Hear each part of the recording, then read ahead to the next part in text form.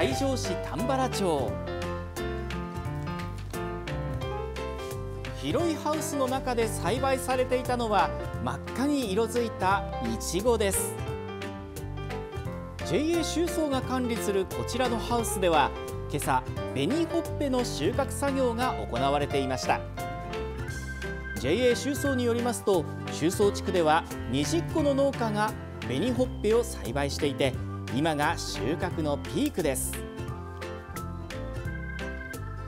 今シーズンは天候にも恵まれ甘みと酸味のバランスが取れたいちごに仕上がっているということです。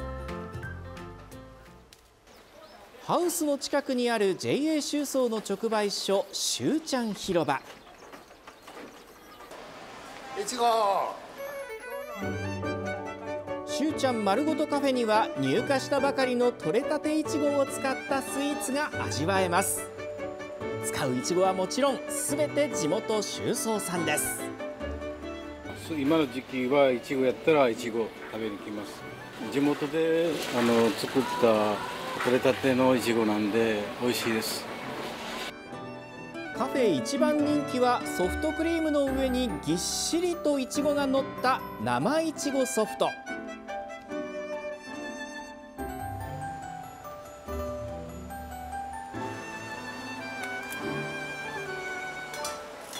そしてこ今年の春に登場したという新メニューがこちら。いちごのピザです。